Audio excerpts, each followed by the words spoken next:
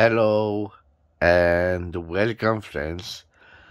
Welcome to another episode where I review modern fountain pens. Today I have for you a fountain pen made in Ireland by Cross. And we are talking about this beautiful, beautiful metallic fountain pen. In fact, guys, this beautiful model, let me zoom on it for you to see better. It is a beautiful, beautiful fountain pen. I always uh, admired the classical shape of the metallic ballpoint pens by Cross, their elegance and their beauty.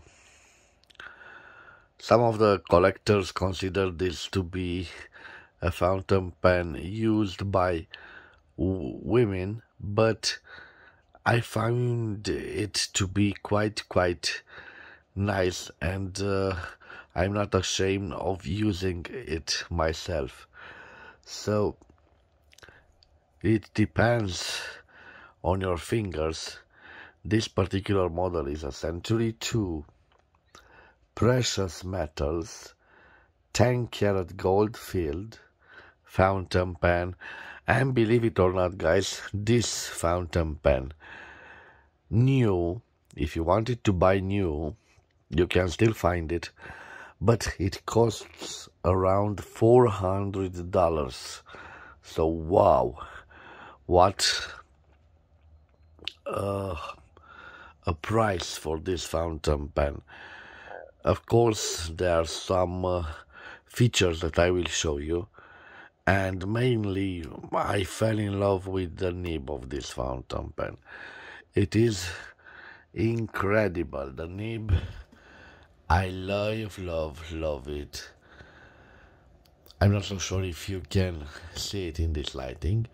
We have engraved cross 18 karat 750 and above the cross we have an M in a circle which means we have an M nib, a medium nib.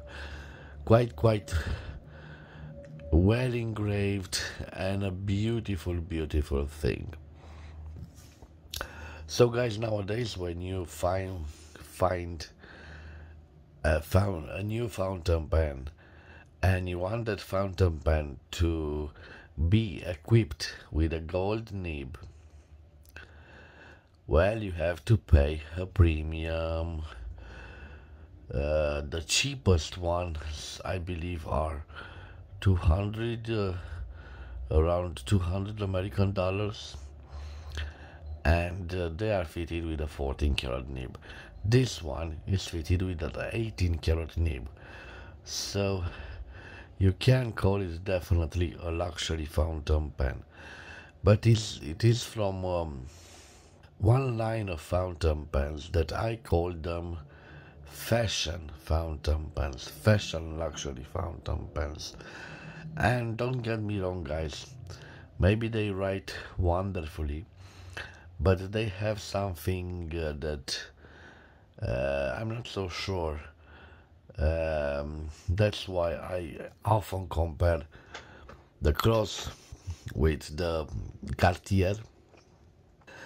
Don't get me wrong, guys, they both use premium materials, but they're not piston fillers. I'm not so sure they produce their own nibs, so it's like uh, watches some of them have in-house movements completely built by them and some uh, others they prefer to have custom made pieces for them. And the nib could be custom made of course. For the moment i will leave the cartier aside but not before guys. Before i show you another beautiful beautiful nib another 18 karat gold nib. Okay, let's leave the Cartier aside, guys. So returning to this fountain pen, I must tell you guys that in my research work, I searched it on the Fountain Pen Network and uh, I saw that there were some listings of them being sold for as much low as only 50 American dollars. And guys, this is worth all the money. I must tell you what I paid for it. Well, uh, I paid around 213 lays for it, including the shipment to my home address, which means I paid around 47 euros or 50 American dollars. And I'm quite pleased with the sum of money. Although this is an underrated fountain pen, in my opinion, I think I paid the right price for this fountain pen. Even uh, I would go to say that I paid a pretty low sum of money for a type of fountain pen like this. Guys, we have a metallic fountain pen. We have 10 uh, karat gold rolled. Uh, again, this particular fountain pen has some flaws on it in the sense that it lost the gold the raw gold was affected in time by the acidity of the sweat. So it was uh, intensely uh, used but this is the way i like them. The more used the better they tend to have a unique patina that can be replicated only after years years of use. And uh, uh, you have to like this beautiful beautiful piece. Let me show you now some engravings. So on the clip we have cross this clip reminds me by the way it is fitted on the cap of the old fountain pens from the 1920s it is a quite flexible clip as you can see. At the top back of the cap we have cross engraved and 10 karat rolled gold except the iron. Let me see uh, maybe you can help me guys so except appointments, except appointments, Ireland. I'm not so sure what expect appointment stands for. Maybe you can uh, tell me in the comments. Except appointment. Maybe it's a thing related to the registered trademark. I'm not so sure. You can see this has the beautiful, beautiful lines. Quite, quite nice. It has here a point where you can personalize the fountain pen. And it's in pretty, pretty good shape. If I open it, we realize that we have a pressure feed cap. Inside of it, it is a quite large plastic material which has a double roll. The first roll is uh, securing it here, and the second roll. If we post this fountain pen, it helps with the scratches, so it doesn't scratch. One of a few fountain pens, a metallic fountain pen, that has this trait. A downside to the inner plastic is that in time, after years and years of use, that plastic will fade away and it will need to be replaced. But till then, it should last you for a quite a long period of time. If we concentrate on the grip section, we can see some striations here with almost the same pattern as the metal. They give they give a little grip to it, but it is a shiny material, so your hand will slip. Fortunate enough, you encounter this concave ending and in a way it prevents you for from reaching the nib. I particularly don't like this design. I don't like this design on the Pelikan M800 and I'm not uh, liking this design now. And if you look closely, the same design is present also on the Cartier. Let me tell you what I don't like this design. No matter how well treated is this metallic part, in time it will fade away. And I think I have here some marks. Why it will fade away? Because most of us don't clean their fountain pens quite quite often and the ink in contact with this metallic part it is a mess in time it oxidates and it will ruin this metallic part so I don't like uh, that. They should have continued with the same plastic material also here. Uh, the, the idea of a concave ending is wonderful. It should uh, they should replace this metallic part with the simple simple resin or plastic material from there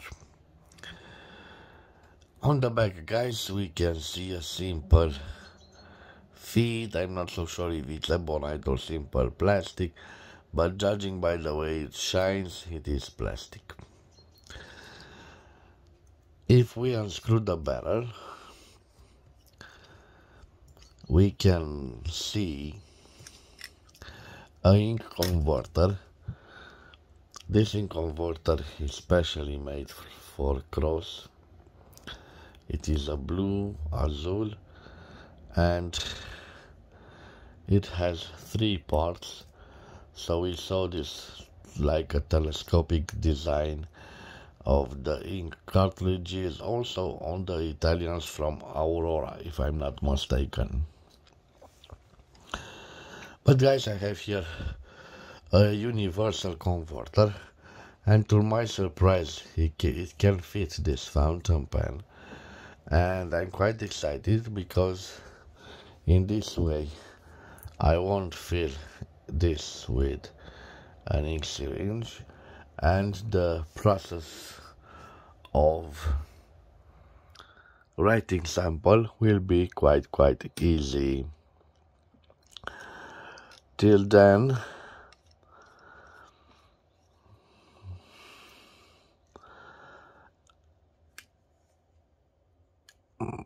I will put it side by side near the Cartier fountain pen for you to have an idea of its dimensions. Here they are, guys. They look like this side by side. You can see that the Trinity is a, a bigger fountain pen. It's slightly longer and it definitely is a little bit fat in comparison with the Cross Century 2 model. I will uh, leave the dimensions of uh, the precious metal Century 2 on the screen and after that I will do a writing sample with it. So for me, this is a royal fountain pen, and in my book, it deserves a royal blue ink. And in this case, we have the royal blue from, from Montblanc. Let me place it like this. So guys, before the actual writing sample, let me change the angle of the camera. Okay. Let me put it in this lighting. I will give it a little shake. I will open it like this. Now I will put the cap right here okay so guys bear in mind this is the first time that I'm uh, using this ink converter with this fountain pen. I hope it is compatible. So look what I am doing before I oh I have problems. I think one of the part is missing hmm this is not good. Not good at all. But thank God I I can pull it off. So I will submerge this in ink and now I will turn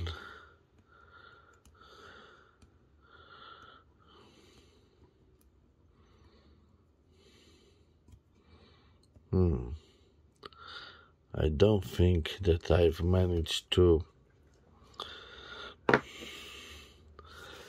to draw ink. This is the way that I want it to be. No problem. First of all let me take a little bit of tissue. So this was is what i'm talking about guys. You can see the ink accumulating on this metallic part and if you don't clean it thoroughly and you leave it for several years in a drawer you will have problems with that part this is what I got, guarantee.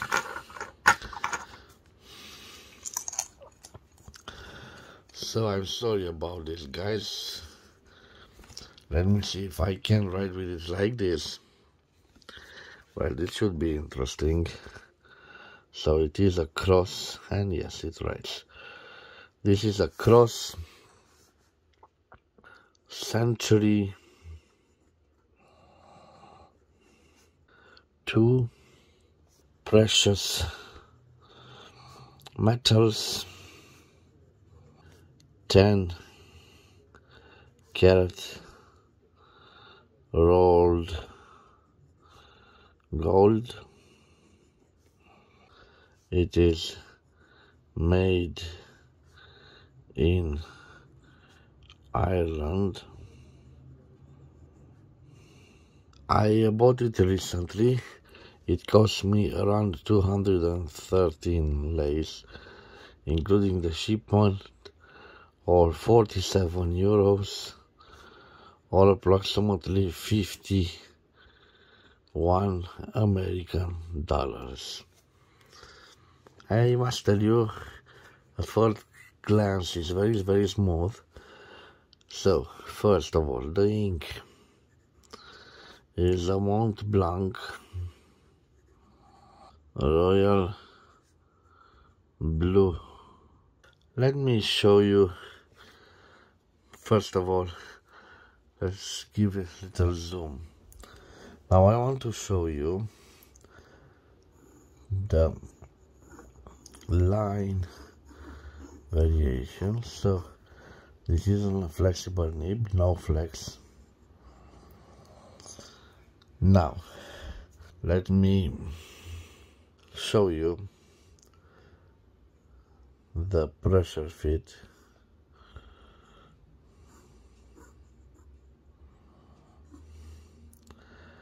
so no line variance. Okay let me see if I can do signatures.